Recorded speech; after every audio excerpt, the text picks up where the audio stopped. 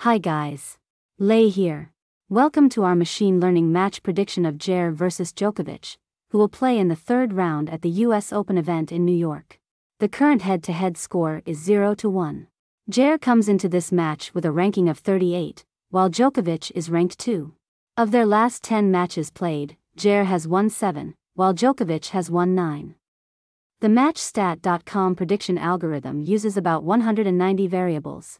One very important stat for this match is on hard so far in 2023. Djere has won 51% of his own second serve points and 37% of return points, versus an average opponent rank of 116, while Djokovic has won 60% of his own second serve points and 42% of return points, against an average opponent rank of 65.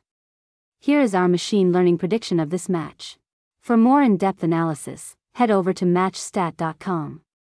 Our predictions also include odds, so you have access to the best value bets available.